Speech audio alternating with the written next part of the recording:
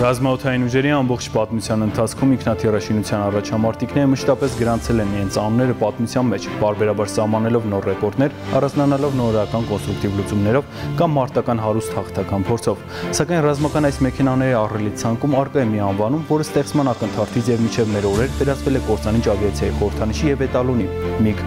3 տար, որի ետևում կանած է 8 տասնամյակից ավել ձգվող հաղթանակների եւ փորձությունների ճանապարհ։ Սանահին առաջին համաշխարհային պատերազմ, որքան էլ տարօրինակ թվա, հենց այստեղ եւ այս ժամանակ դեռևս փոքրիկ Արտև Նիկոյանը կատարեց առաջին քայլը ավիացիայի լավագույն կոնստրուկտորներից մեկը դառնալու ճանապարհին։ Հանդիպում ֆրանսիական Ֆարման օթանավի հետ, որը վնասվածքների պատճառով հարկադրական վայրաշխիր կատարել Արտեմի հայրենի գյուղում, դարձավ ճակատագրական եւ կանխորոշեց Միկոյանի հետագա կյանքը։ Առաջին միգը նախագծվեց եւ անցավ արտադրության ծանրագույն իրավիճակում, երբ ամբողջ աշխարհը կանած էր համաշխարհային նոր պատերազմի նախաշեմին։ Արտադրված ինքնաթիռը համաձայն այդ ժամանակի ռազմական դոկտրինի լավագույններ մեծ բարձրություններում։ Սակայն սկսված պատերազմը դուրս բերեց դոկտրինի թերի կողմերը, երբ օթային պատերազմը մեծ բարձրություններից տեղափոխվեց ներքև։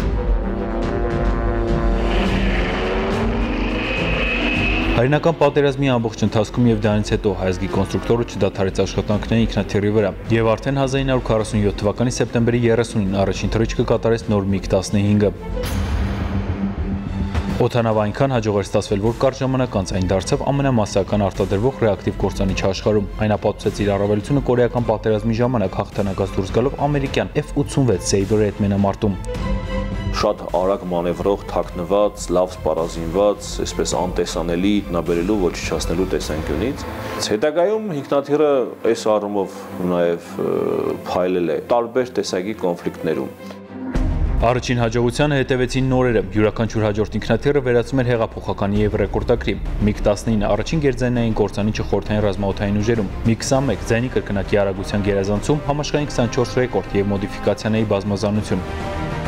Վիետնամական պատերազմի օթային մարտերը ապացուցեցին ռազմաօթային ուժերի դոկտրինն ամբողջ աշխարհում անհրաժեշտ է վերանայել, քանի որ միայն արագընթաց եւ ռադիոէլեկտրոնային սպառազինությամբ հագեցված ինքնաթիռների վրա շեշտադրումը տանում էր դեպի փակ ուղի։ Նոր լուծում իրան երկար սպասել չտվեց։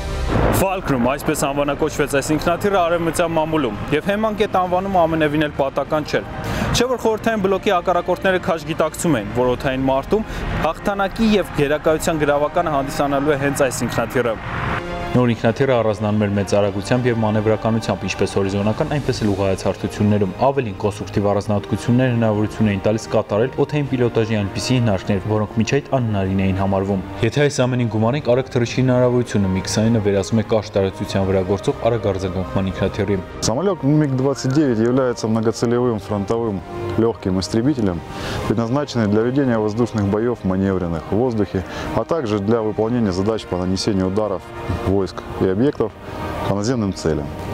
Այս տեսանկյունից խորթային եւ ամերիկյան դոկտրինները նման էին, նստակ բաժանում էր կատարված թեթև եւ ծանր կործանիչների համակարգերի միջև։ Եթե խորթային զինանոցում այդ ֆունկցիան կատարում էին Su-27 եւ Mi-29, ապա ամերիկյան նմանակներն էին F-15 եւ 16-ը։ Большим преимуществом МиГ-29 по сравнению с зарубежными аналогами является наличие двух двигателей, имеющих форсажный режим работы, а также широкую номенклатуру вооружения, которая позволяет использовать большой спектр оружия и применять их в различных условиях. Սպառազինության կառավարման համակարգը նույնպես փոխվել էր։ Այժմ ինքնաթիռը կարող է նկատել հակառակորդի միջև 60 կիլոմետր հեռավորության վրա, իսկ միաժամանակ հետևող նշանակետերի քանակը հասնում էր 10-ի։ Այդ թվում ինքնաթիռի սպառազինության մեջ առկա էր նաև քվանտային օպտիկալակացիոն կայան, որը ջերմային ազդակների միջոցով կատարում է նշանակետի հայտնաբերում եւ ուղեկցում։ Այժմ ինքնաթիռի սպառազինությունը հանված է, սակայն պատերազմի պայմաններում այն կարող է կրել ինչպես երկինք-երկինք դասի կառավարվող հրթիռներ, այնպես էլ ռումբեր, չկառավարվող մի շարք հրթիռներ եւ այլն։ Փոխված եւ առավել հզոր շարժիչները իրենց հերթին բարձրացրեցին ինքնաթիռի մանևրականությունն ու արագությունը։ Բարձրության վրա այն հասնում էր 2450 կմ/ժ, իսկ ավելի ցածր թռիչքի պայմաններում 1500-ի։ Մաքսիմալ թռիչքի բարձրությունը իր հերթին հասնում էր 18000 կմ/ի։ Ես կարող եմ հավաստել, որ ինքնաթիռը ինչպես ասված էր արդեն նախկինում աշխարհի լավագույն ինքնաթիռներից ինքնաթիռներից մեկն է համարվում։ Շատ երկրներ արդեն շահագործում են այդ ինքնաթիռը։ Սակայն անհրաժեշտ է գիտակցել, որ բոլոր դրական կողմերի հետ մեկտեղ MiG-29-ը մնում է թեթև կործանիչ նախատեսված փոքր տարածություններում հստակ խնդիրների կատարման համար։ Ինքնաթիռը գերազանց է դրսևորում իրեն հարթավարային տարածքում մարդ վարելու ընթացքում, սակայն նույնչափ արդյունավետ չէ լեռնային գոտում օթային մարտի ժամանակ։ Սակայն ինքնաթիռի մանևրելու հնարավորությունները հմուտ օթաչուի արկայության դեպքում անփոխարինելի են դարձնում այն օթային մարտի եւ արագ արձագանքման խնդիրների կատարման ժամանակ։ Հենց այս պատճառով կարճ ժամանակում Mix-ը տարածում է ամբողջ աշխարհում, արտադրվում է մարտական մեքենայի 1600-ից ավել օրինակ։ Դա ամենևին էլ պատահական չէ մոդիֆիկացիոն մեծ պոտենցիալ, մանևրելու լավ ունակություն եւ օթային բարձրագույն պիլոտաժի նորությունների մեծ տեսականի, որոնք միջև այսօր էլ ավելանում են։ Mix-ային ինքնաթիռը հավատարիմ մնաց Միկոյանի կոնստրուկտորական բյուրոյի ժառանգությանը, լինել առաջին ամեն ինչում, ինչպես ցուցանիշներով, այնպես էլ մարտում, եւ իհարկե ապահովել սեփական երկրի օթային գերակայությունը։